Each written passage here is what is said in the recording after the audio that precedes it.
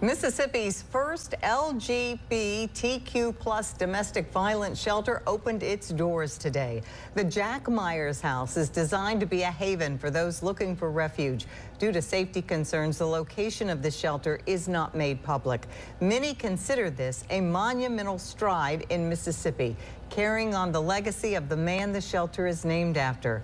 The nine-bedroom facility will also serve as a resource center how many people he helped house, helped give shelter to, gave medical care to um, through the years because they literally had nowhere else to go. And it just gives me great joy to know that now they have a place where they can come and be safe, be protected, get the therapy they need, um, get on their feet, and and do better for themselves. The facility is already accepting clients. You can find more information and donate on their website at jackmyershouse.org.